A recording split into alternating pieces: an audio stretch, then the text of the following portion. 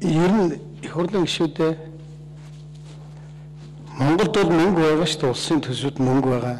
10 гаруй их 80 төгөр их 80 төгрөг байгаа.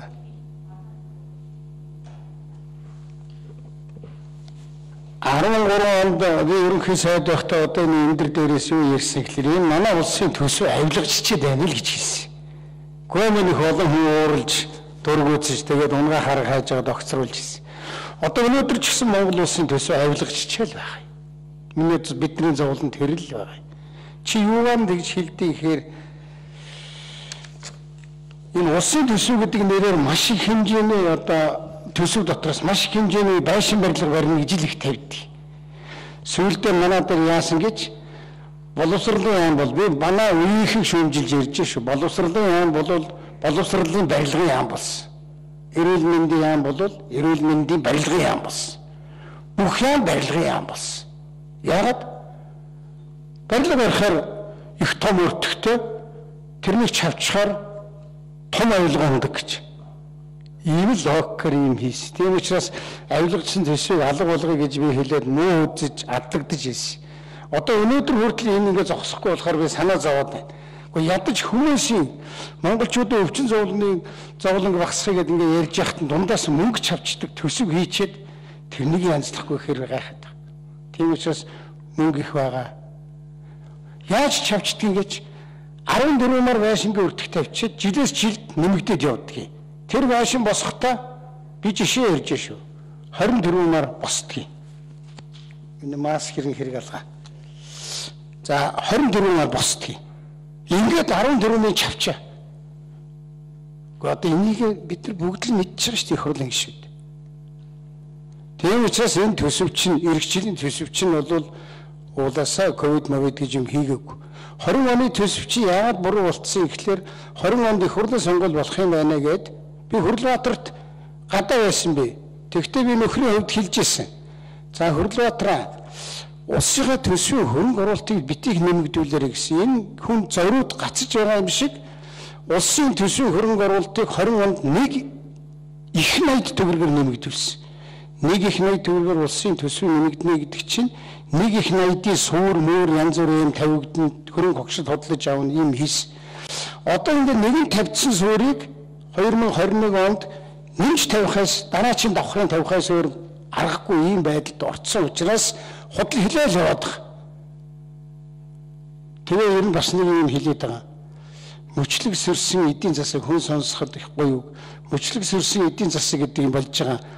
Баярлага барьдаг тэр одоо дарганы хамааны хэдэн компани энэ мөнгийг авдаг байхгүй да. Жавхлаа чи сайн мэдэн шүү дээ биднээс одоо энэ дээр яриад байгаа санаа чинь ерөнхийлөгчийн санаатай бид энэ дээр адилхан байна. Гэхдээ энэний чинь олон хүнд хүртээмжтэй болгоё. Тэр даваасрын гишүүний хэлээд байгаа санаа сангийн амд ажилласан бид нар санал нөгөө. Энэ төсвийн мөнгөний чинь цөөхөн компанид өдөр та нарын оруулж ирээ сая өчтөр үл урждаг батлаад байдаг хөнгөлтүүд чинь бас 80 компанид л очиж шүү дээ. Гэхдээ энийг нэг 3 сая хүнд хөрөгч арга байна уу?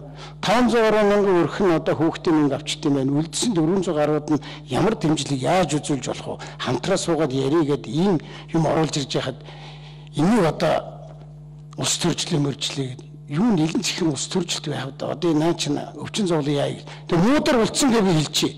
Тэр онцгой хэмсгээд байгаа юм аа ерөнхий сайд нь аваад ажлыг хийгээс одоо бол хийхгүй тэр нөхдүүдийнх нь хийж байгааг нь өдөр болгон өөрчлөгддөг шийдвэр нь а тэгээд дахиад хэлчихье.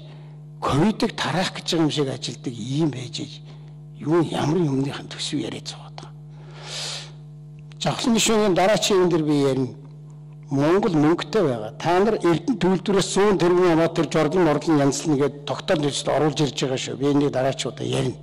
Өчигдөр Жайкагаас 700 тэрбум төгрөг авчлаа шүү. Энэ төсвөрөөгөө хийчлээ. Ийм ийм юмнуудаа хэдүүлээ ойлгох юм хийе онцлогоо эмчилгээ иргэд аж ахуйн нэгжийг дэмжих ямар арга хэмжээ авч болох вэ гэдэг төр хороон дээр би сайхан тогтсон суугаа ярих гэсэн манай хурлахын ярихгүй байлээ дээ. Тэгэл хоёрдоо хоёрын хоорондоо нэг нэг шүүмжсэн болоод хайрын цаг барж байна. Бидний ковидын өвчлөл тархалт чинь хүлээхгүй байна шүү. Ядаж тэр ерөнхийлөгчийн хоргийн хоёр дахь заалтан дээр байгаа. Үүнийг бид нар засгийн газар ч хүртэл албан бичээр өргүүлж ирсэн. албан бичгээр хөрвүүлж явахдаа болон хориг дээр юу байгаа гэхээр 200 мянга болон 800 мянга гэж хуваасан байна. Ямар шалтгаантай гэхээр 200 мянга би түрүүн дөрчөн гүшүүний асуултанд хариулахдаа бас хэлж ирсэн. Энэ дээр юу гэсэн гэхээр Монгол бол үйлчлэгээний бас импортын хамааралтай эдийн засгтай а дотоодын үйлдвэрлэлд эзлэх одоо хувь хэмжээ нь харамсалтай бусад улс орны жишээ аваад байгаа зарим улс орн шиг тийм өндөр биш ээ. Тэгэхээр үүнтэй өөрийнх нь нөхцөл тохируулсан тодорхой хэмжээний шийдвэр шийдэл гаргах нь зөв баха.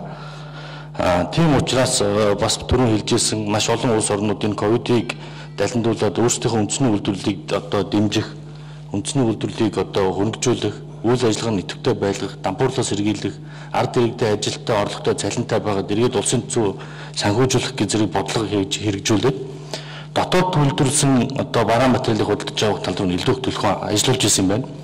Тэгээ түүнтэй холбоотой 800 мянган төгрөгийг зөвхөн дотоод үйлдвэрлэсэн бараа материал одоо бүтээгдэхүүн худалдаж авах гэдэг заалт байгаа. Хүүхдийн үлгийн дотоод үйлдвэрлэж бол хүүхдийн үлгийг худалдаж ав. Жишээ нь үлдсэн 200 мянган одоо бид нар дотоодоо үйлдвэрлэж чадахгүй байгаа бас олон одоо бараа материал байгаа. Тэрийг худалдаж авах юм зорилготой Тэгээд түрүүн бас нэг юм дээр хариултгүй хоцорсон хариултгүй чадаагүй хоцорсон тэн дээр төслийн хөрөнгө оруулалтаар нийтдээ хичнээн аж ахуй нэгжийг дэмжиж байгаа юм би. Одоо ингээд сая хурлын зөвхөн хөрөнгө оруулалт талд нь яриад байгаа төс ерөнхийлөгчийн хориг бол зардал тал дээр бас байгаа. Тийм. Тэгтэл төслийн хөрөнгө оруулалтаар хичнээн аж ахуй нэгжийг одоо дэмжиж байгаа юм би. Энэ магадгүй одоо зөвхөн тухайн одоо тендерийг авч байгаа магадгүй тухайн ажлыг гүйцэтгэж байгаа 4 500 ажгийн аж ахуй нэгжийн асуудал юм уу? цаана бүртгэлтэй байгаа 97 мянган аж ахуй нэгжийг яах юм бэ? Энэ төсвийн хөрөнгө оруулалт төсвийн зардлыг тэгш хүртээмжтэй байх бодлого энэ улсын төсвийн хөрөнгө оруулалтаар дамжих ёстой гэдэг л хориг штэ. Тэгэхээр энэ хоёрыг тийм учраас энэ хоргийг эргэж хараад боломж гэж хараад ингэсэ. Өвчин зовлонгоор ийм юмэр бол улс төржилт хийх нь бол өнөөдөр хинт ч хэрэггүй. Ерөнхийлөгч хамгийн газар ч юм хийхгүй. Олон улсын байгууллагыг бас нэр дурдж муулж байгаа зүйл бас байхгүй. Ковакс хөтөлбөрийн тухай танилцуулсан. ковид сүлбэрт орсноо зээл хамрагдах эрх нэгдэж байгаа болохоос биш тухайн вакциныг хамгийн түрүүнд авах эрх биш шүү дээ. Энд чинь 111 улс өнөөдрийн байдлаар миний хамгийн сүүлд онцноо бүртгэлтэй байна. Тэгэхээр энэ мэдл юмнууд дээр бид нэр тодорхой шийдэл гаргаад хоргийг хүлээж аваасаа гэж байна.